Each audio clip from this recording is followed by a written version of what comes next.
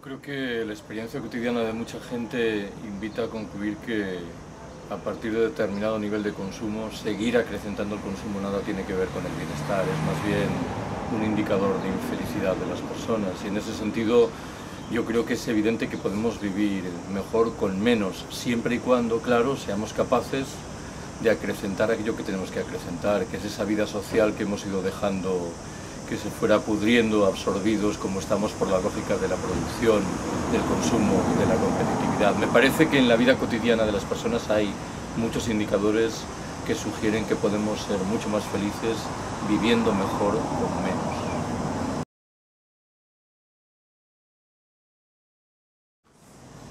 Término desarrollo sostenible en su momento tuvo, cierto vigor y cierta utilidad, pero me temo que está completamente quemado. ¿Por qué? Porque prácticamente todo el mundo hoy se reclama del desarrollo sostenible. Si uno echa mano de los programas de todos los partidos, verá que la expresión aparece en todos ellos. Al margen de lo anterior, yo creo que quienes piensan que es muy diferente el concepto de desarrollo sostenible del de crecimiento sostenible se están equivocando en los hechos, en el uso cotidiano, esas dos expresiones son sinónimas y lo hemos dicho siempre. Si es crecimiento no es sostenible y si es sostenible no puede ser crecimiento. Son dos términos antitéticos, configuran un oxímoron.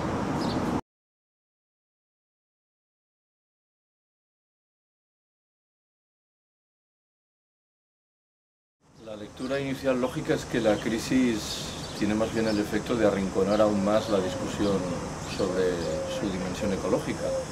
Estamos absorbidos por lo que sucede en nuestra vida cotidiana, por los recortes, los salarios, el desempleo, de tal manera que todas las otras cuestiones pasan, yo creo que desafortunadamente al segundo plano. Ya no hablamos del cambio climático, el encarecimiento inevitable de los precios de la mayoría de las materias primas energéticas. Parece como si los problemas endémicos de las mujeres no estuvieran o como si el expolio de la riqueza humana y material de los países del sur hubiese desaparecido. Es un grave error, pero sospecho que hay al menos una minoría de la población que aprovecha una lectura crítica de la crisis financiera para extenderla a otros ámbitos, como por ejemplo este de la crisis ecológica, de los problemas medioambientales y de recursos.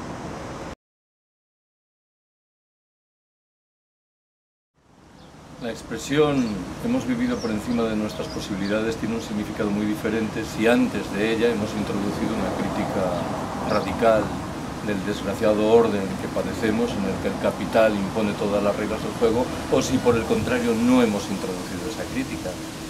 Si asumimos esa crítica previa, yo estoy dispuesto a aceptar que en términos generales la especie humana y singularmente los habitantes de los países del norte hemos vivido por encima de nuestras posibilidades en la medida en que el planeta no nos ofrece recursos para mantener un nivel de vida como el que hemos llevado en los últimos 30 o 40 años. Pero claro, si no hemos asumido esa crítica previa del orden del capital, de la sumisión de los dirigentes políticos de ese orden, me temo que la frase es moderadamente insultante. Quien ha vivido por encima de sus posibilidades es el señor Putin, no el conjunto de los trabajadores que son los que en última instancia están pagando el peso de la crisis.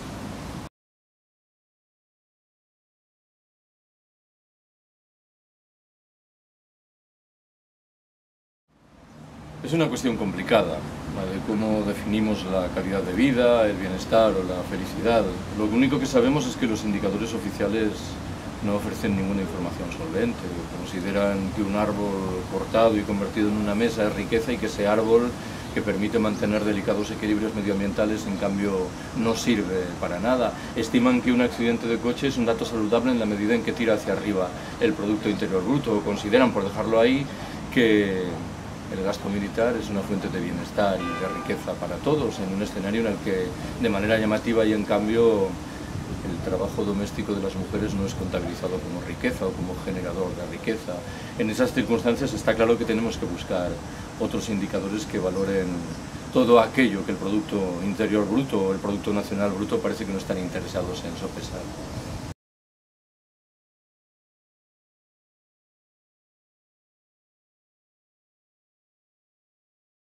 Que yo suelo repetir una y otra vez cuando tengo la oportunidad es que cualquier movimiento de contestación del capitalismo en el norte opulento y a principios del siglo XXI tiene que ser por definición decrecentista, antipatriarcal autogestionario e internacionalista. Si le falta alguno de estos pilares, sospecho que estará moviendo el carro del sistema que desea contestar, estará siendo absorbido por la lógica de ese sistema. Y uno de los cuatro adjetivos que acabo de utilizar es el que habla de un movimiento antipatriarcal. No podemos prescindir de una contestación de una sociedad, la nuestra, claramente marcada por la lógica patriarcal y que se caracteriza por una marginación histórica en el terreno material y en el simbólico de las mujeres. Si no somos capaces de colocar en todas nuestras demandas, en todas nuestras iniciativas, en todas nuestras reivindicaciones esta dimensión, me temo que estaremos incurriendo en gravísimos problemas y estaremos dejando de lado a la mitad de la población, lo cual no es precisamente poco.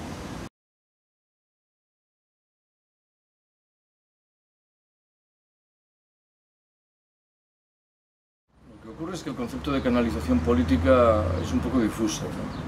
Si interpretamos por canalización política el hecho de que esas iniciativas lleguen a los parlamentos, pues yo no estoy particularmente interesado, porque creo que sería más bien una manera de matarlas. Si lo que interpretamos es que se conviertan en un objeto de debate público, la dimensión es distinta y es más saludable. Yo creo que una de las tareas más honrosas que tenemos por delante es la construcción de lo que yo llamo espacios de autonomía, en los cuales procedamos a aplicar reglas del juego diferentes desde la base, desde la asamblea y desde la autogestión. Y me parece que uno de los impulsos que el movimiento del 15 de mayo le ha dado a estas iniciativas es muy valioso. Estoy hablando en lo que significan los grupos de consumo, las cooperativas integrales que empiezan a manifestarse en los más diferentes lugares, en lo que suponen los experimentos de las ecoaldeas o de iniciativas más o menos similares, en la perspectiva de que en empresas que están en crisis, al borde de la quiebra, los trabajadores decidan regirlas de manera autogestionaria y cooperativa. Yo creo que esto es muy feraz, entre otras razones, por una, ofrece una explicación convincente de cómo las cosas se pueden hacer de manera diferente y en ese sentido me parece que este es un proyecto paradójicamente mucho más realista que el que nace de las propuestas tradicionales de nuestros economistas socialdemócratas que reivindican, por ejemplo, la necesidad inexorable de articular una banca pública. Está bien lo de la banca pública, pero es un procedimiento que reclama del concurso de partidos, parlamentos, instituciones y que me temo va a llevar demasiado tiempo con resultados que no son particularmente halagüeños. En ese sentido, el viejo proyecto libertario de la autogestión generalizada me parece que es mucho más interesante y mucho más practicable en un momento como el presente.